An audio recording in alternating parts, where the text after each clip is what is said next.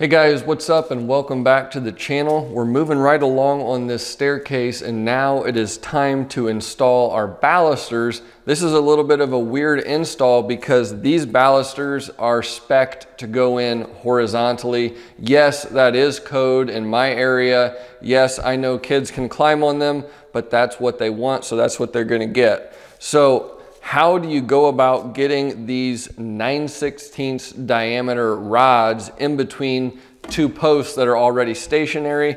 We'll take a look at that and show you some uh, tips and tricks on how to do this uh, horizontal area. Then we've got the rake handrail to do in the basement also.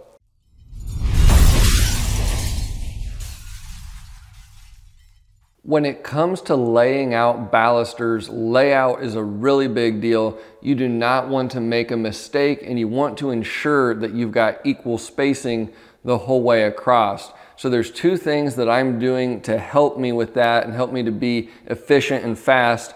Number one is I'm using a story stick. This is just a rip of one by at about an eighth of an inch. And then I've got marks on this every so often that way I can just set this stick down on my shoe rail and transfer the marks onto each post. Repetition and having a story stick like this reduces the chance of errors. If I pull out my tape measure and I try to make a mark, the likelihood of me missing an inch or something like that is really high. So if you can use a story stick to keep everything exactly the same and prevent errors, it's always a good bet. The second thing that'll really speed up your baluster layout is to use a baluster calculation app like I've got here. Now essentially what we wanna do is take our measurement from the top of the shoe rail to the underside of the handrail. Now you want to select flat run on the bottom of your screen, not rake. We'll go flat run and you input, input your measurements. I want a max spacing of four inches right there. My baluster width is 9 16ths of an inch. So you just select that right there. And then you put in the length of the run, which in my case is 36 inches. And then you just simply hit calculate results. Now you'll see uh, a few different things that it gives you. Number of balusters, eight. Space between balusters, four and a 16th, that's center to center. Number of spaces, nine.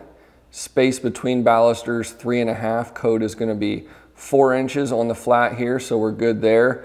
And now it gives you your measurements and you can lay out your centers um, just going down this line of numbers and that is your center measurement. So it really speeds things up. From there, I know my post is three and a half inches. So I'll set my double square at an inch and three quarters and just mark a center line down the post that's quick and easy to find the center. And then you would just take your story pole here and mark across your lines the whole way. Note that I do have the bottom with marked with a B on the bottom here. So after you get one post done, you can just move over to the next one and it makes it really quick to lay out all these posts. When it comes to drilling these baluster holes, I wasn't sure exactly how this was gonna go. Um, you kind of just have to roll with the punches. But I knew my outside diameter was 9 16ths and I needed to be able to slide it in far enough at a slight angle to get past this post and then take it back. So we're going an inch of depth on this side, pushing it all the way in and then bringing it back a half inch this way. So we're gonna have a half inch of each of these rods inside the post. So the question is, am I gonna be able to just drill a 9 16 hole and have enough play to push this baluster in and get it positioned the other way?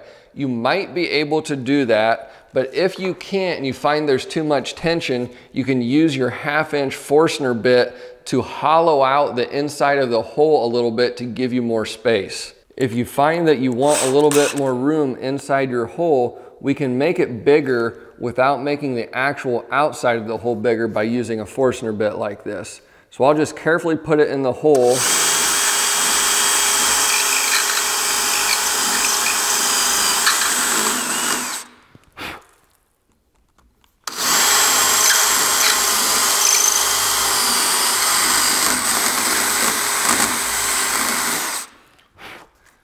Now that created a lot more space in there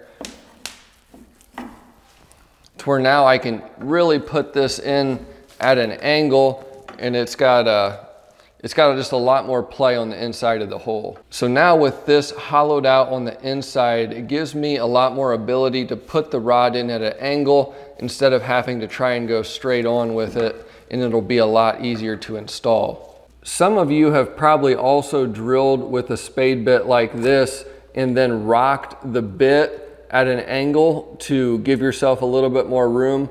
I will do that on the underside of a handrail where it's not visible. But right here, if I do that, it's gonna make this hole into an oval shape too much and it's not gonna have a tight fit all the way around the baluster. So I don't wanna do that in this case.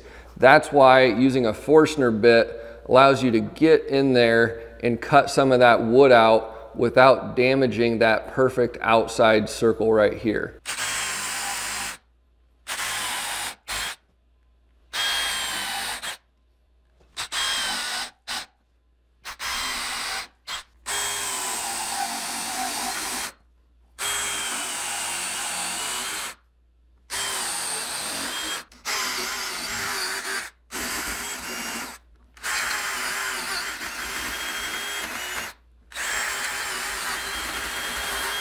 These rods come with a hole on the end because they're hung whenever they're powder, powder coated. So the first thing that I'm going to do is cut off the ends so that we get rid of all these holes. It'd be a bad deal if I put one of these rods in and the hole was still visible.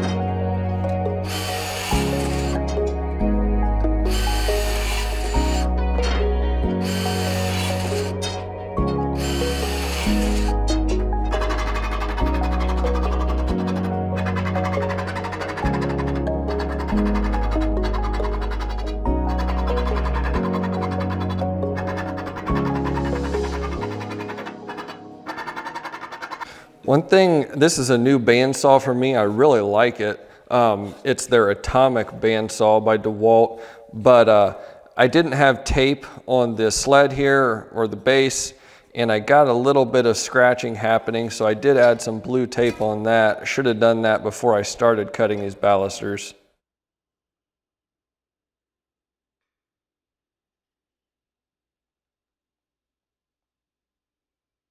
Well, I've got my layout done for the locations of these holes for these rake balusters. Now this is a lot trickier because whenever you drill these holes with your spade bit, you've got to ensure that your drill stays at the exact angle of the rake. If you don't, whenever you go to insert the baluster, it'll want to either shoot down or shoot to the side and there will be tension there and it'll be hard to get it to fit. So we really need to try and match this angle as well as we can.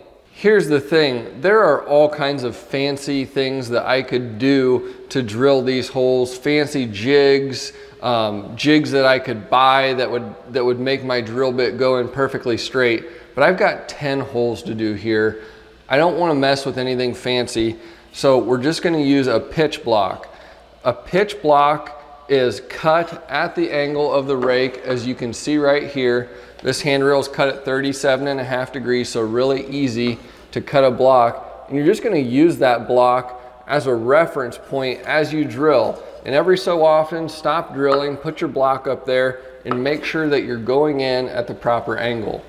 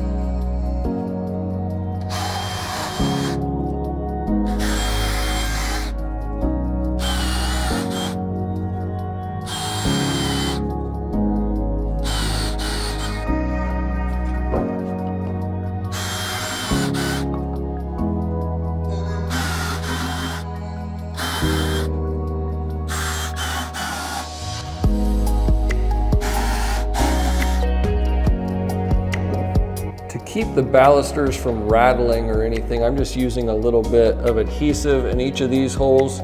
It's basically just to give it a little bit of stickiness in there so that it doesn't twist, spin, move, just kind of stays in place.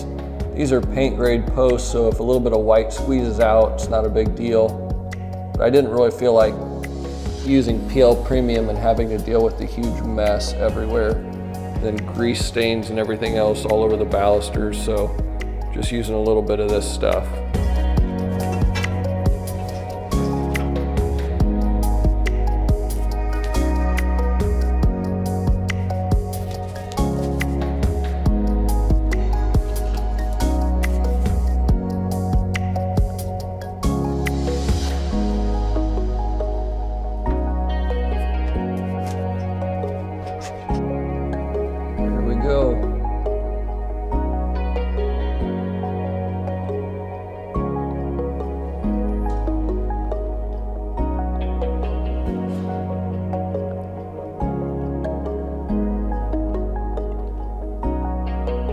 Well, that's it. That's how we put in our horizontal balusters. Hope you guys enjoyed this one. I also did videos on how to install these solid wood newel posts as well as the hardwood stair treads and risers. So if you didn't catch those videos, be sure to check those out also. But as always, give the video a thumbs up, drop a comment. It helps uh, the algorithm push this out to more people.